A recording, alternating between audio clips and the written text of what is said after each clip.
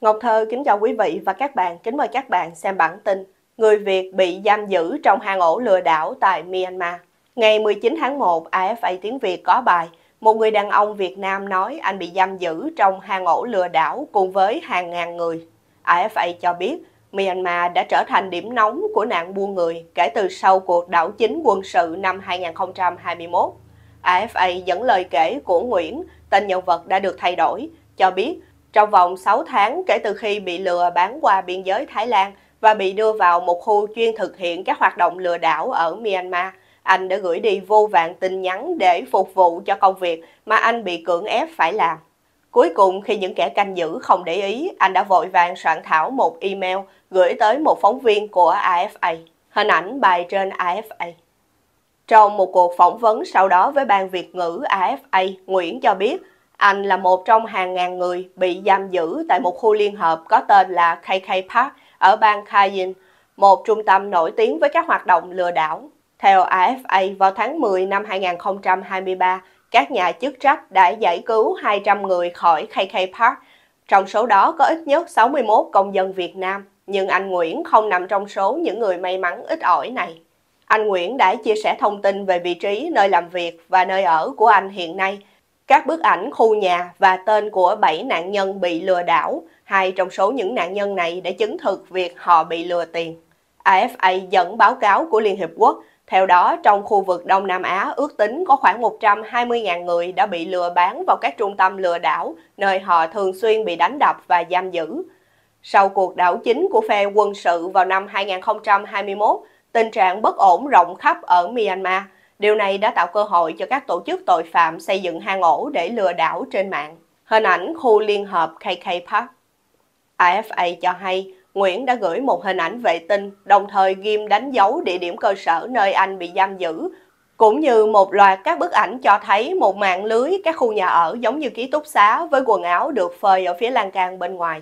Anh cho biết các hoạt động tội phạm được điều hành bởi một công ty cũng được gọi là KK Park sở hữu bởi một chủ người Trung Quốc và quản lý bởi một phụ nữ người Việt. Công ty này được hỗ trợ bởi một chi nhánh của Liên minh quốc gia Karen, một nhóm người dân tộc Karen đã chiến đấu chống lại quân đội Myanmar trong một chiến dịch nổi dậy kéo dài. Nguyễn cho biết, anh và những người bị giam giữ khác phải thực hiện một trò lừa đảo được gọi là mổ lợn. Theo đó, họ bị ép giả vờ làm đại diện của công ty Honda Việt Nam, nhắn tin cho các nạn nhân tiềm năng và thuyết phục họ gửi tiền mua phụ tùng ô tô hoặc các sản phẩm ô tô khác để bán lại và hưởng mức hoa hồng cao. Sau khi nhận được hoa hồng thành công cho các phụ tùng nhỏ, các nạn nhân được khuyến khích chuyển tiền để mua các thiết bị đắt tiền hơn và rồi nhận được thông báo rằng tài khoản của họ đang bị đóng. Hình ảnh ký túc xá tại KK Park, nơi giam giữ những nạn nhân buôn người. Anh Nguyễn kể anh đang nhận được việc làm có lương tốt ở Thái Lan Người ta hứa hẹn trả lương cho anh với mức cao gấp đôi mức lương trước kia của anh. Anh Nguyễn đã bị lừa qua biên giới Thái Lan đến Myanmar. Anh bị tịch thu hộ chiếu, đồng thời bị buộc phải ký hợp đồng một năm và phải thực hiện các định mức do công ty đặt ra. Mỗi người bị giam giữ phải lừa được ít nhất 280.000 đô la một tháng. Những người không đạt được mức doanh số này sẽ không được ăn và bị đánh đập.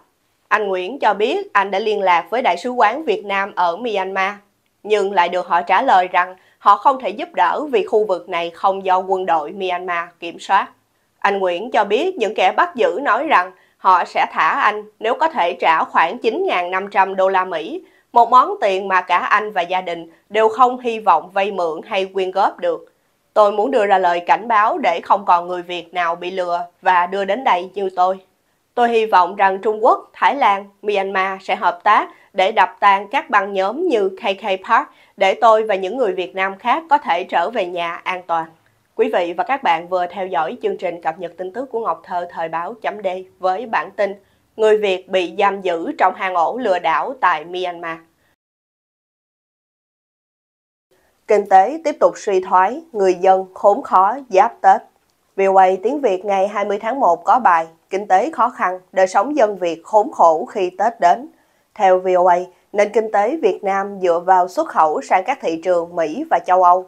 Khi nhu cầu từ các thị trường này giảm xuống do lạm phát cao, đơn hàng ít đi khiến các hãng xưởng trong nước phải sa thải công nhân hoặc thậm chí đóng cửa. Thu nhập người dân thì ít đi, ảnh hưởng đến sức mua, khiến thị trường ế ẩm.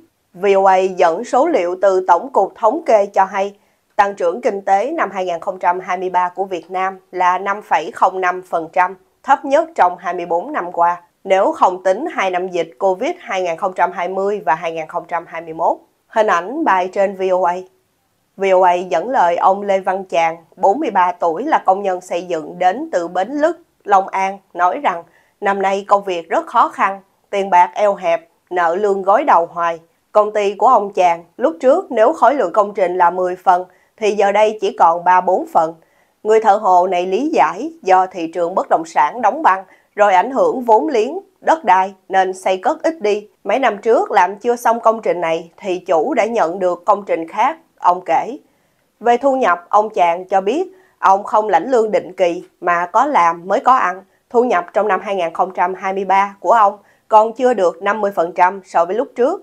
Tuy nhiên, ông nói ông vẫn còn may mắn hơn rất nhiều người là vì còn công việc, chứ nhiều người xung quanh thì thất nghiệp nhiều lắm. Người ta về quê quá trời, họ đi bán vé số.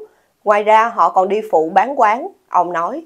Ông cho biết lúc trước chủ thầu có hỗ trợ công nhân 50% tiền thuê trọ, nhưng hiện giờ họ chỉ cho xe tải chở đồ đạc công nhân theo công trình đến nơi ở mới, chứ không trợ cấp tiền trọ nữa.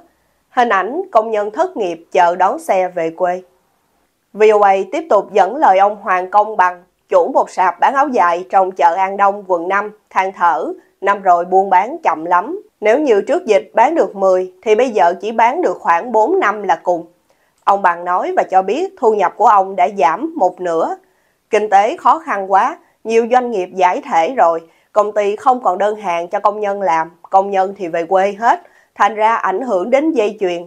Mọi người không có tiền nên ai cũng tiết kiệm tối đa và hạn chế mua sắm. Theo lời ông, trước dịch buôn bán rất được và ngay cả dịch vừa xong, ông vẫn bán ok.